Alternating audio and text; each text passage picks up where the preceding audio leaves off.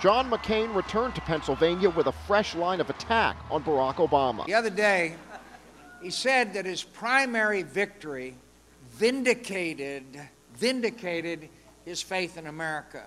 My country's never had to prove anything to me.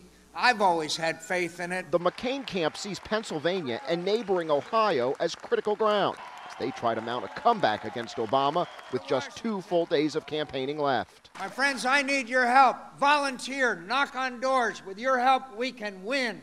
We need a new direction for this country, and we have to fight for it. And I'll fight with you, and we'll take back Washington, D.C. The campaign chose a hangar at an airport in a rural town about 50 miles outside Philadelphia. This is the heart of his base.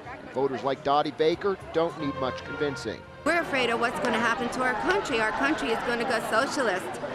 And it's going to take many, many years to undo the harm that might be done. But turning out this base on election day will be critical. McCain has to convince them, not that he's the best choice, but that he still has a chance to win. McCain plans at least two more stops in Pennsylvania on Sunday. This is the only state he's actively campaigning in that went Democrat in 2004. Jason Bronis, The Associated Press, Percy, Pennsylvania.